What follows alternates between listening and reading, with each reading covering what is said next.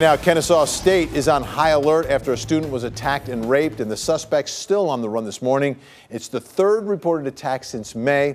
And another major concern here is when students actually learned about this attack. Kaitlyn Ross is live near the campus this morning. Uh, Kaitlyn, how long did it take for the university to send out an emergency alert after they found out about this attack? More than 24 hours, Vinny. Students tell us they didn't get this email alert until a day after this assault happened.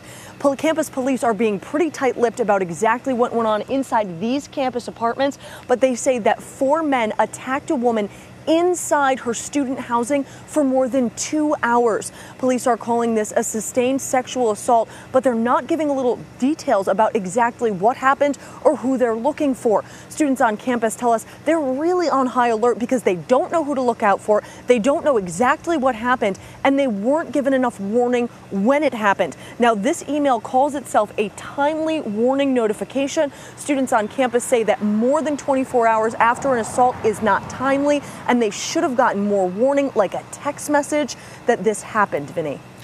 All right, Kaitlyn, uh, very little has been released about the attack itself. Have police said anything about the suspects?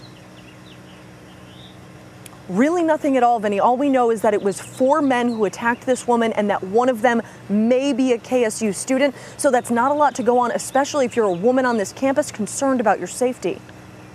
All right, Kaitlyn Ross reporting near Kennesaw State University this morning. Thanks so much, Kaitlyn.